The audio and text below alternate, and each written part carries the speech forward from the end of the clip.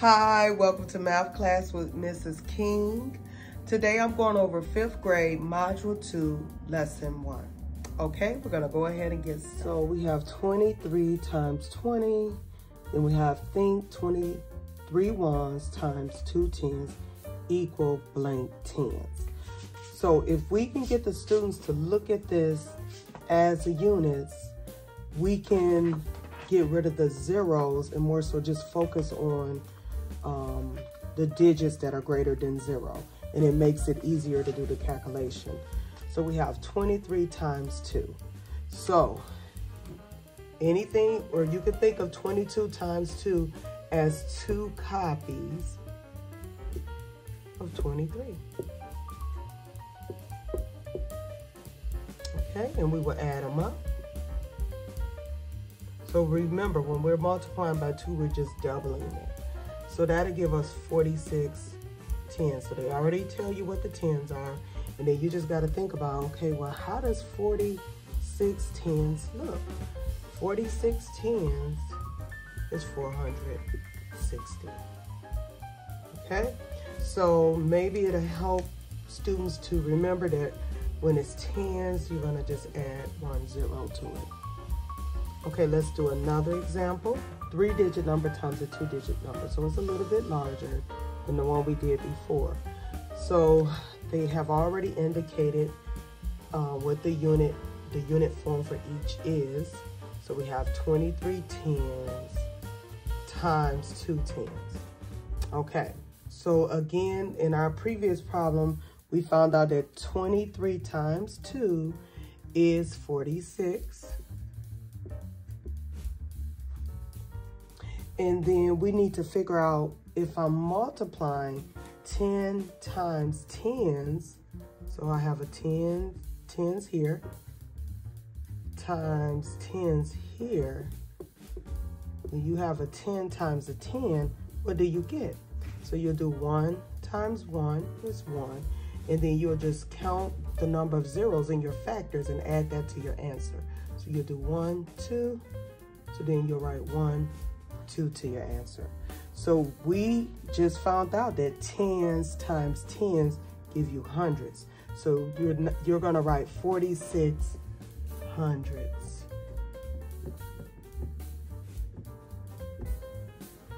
Okay, and then here you're just gonna show the standard form. So how do we show 4600? We so, show 4600s with two zeros. So remember when we did tens, we showed it with one zero behind our number. But here we're doing hundreds, we're showing it with two zeros. Okay. So in the homework, students have an example similar to this. So you have 410 times 400. So 410 is 41 tens times 400 in the standard form is written as 400 equals 164 blank. Okay, so they have already did, we have factors, like these factors are kind of, they're, um, these are not small factors. So they already provided us with the answer. So we just got to figure out what are we going to put here for our units. So if you have tens times a hundred, you will multiply 1 times 1 and get 1. And then you'll go back and just count your factors. 1, 2, 3, and that's what you will add to your product. 1, 2, 3. So it's a 1,000. So how do we show a 1,000 in word form?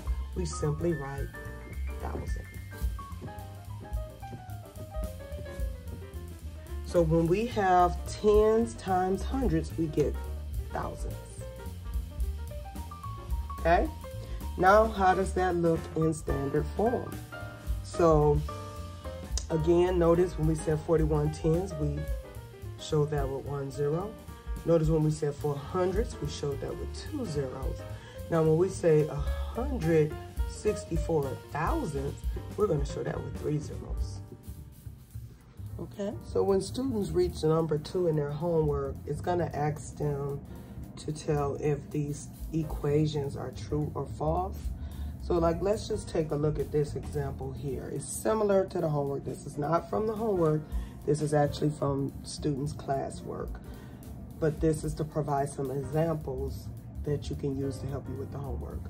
Okay, so let's just see if this is so. So six tens, so we know when it's tens, you add a zero. So we're gonna put this in standard form to see if it's true. Then we're doing two tens, which is 20, times three tens, which is 30. So remember, whenever you see tens, just add one zero. All right? So if we were to do, I'm gonna erase this one here. So if we were to do two times three, we will get six. Then if we count our factors, we will see that we have one, two. If we count the zeros in our factors, we'll see that we have one, two zeros. So we will add that to the answer, making that 600. This we had 60. As you can see, they're not equal. So this statement is false. So you definitely want the students to work out the problems to see if it's true. So I can do another one. So let's say they have something similar to this one. So with this one, I will I can use the associative property, which means I can just, whichever two I want to multiply first, I'll place them in parentheses. And that's using the associative property. And then I will go ahead and multiply to see if this is true. So I will start with, so remember, you don't have to worry about multiplying the zero. So you would do two times four, that will give you eight.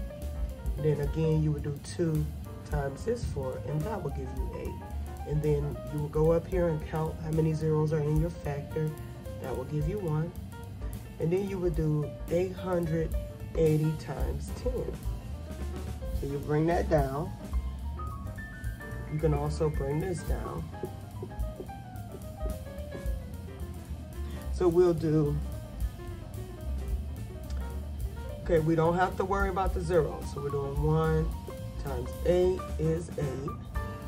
One times this eight is eight. And then you go back and you count how many factors are in the zero. I mean, how many zeros are in the factors. One, two, one, two, comma. Then we'll go on this side and we'll work this out. So then we'll say, okay, two times four is eight. Two times this four is eight.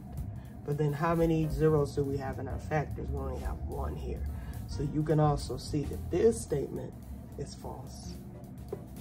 So you would just have the students work out the problems to determine if they're true or false. Okay, thank you so much for joining me today. Until I see you next time, bye.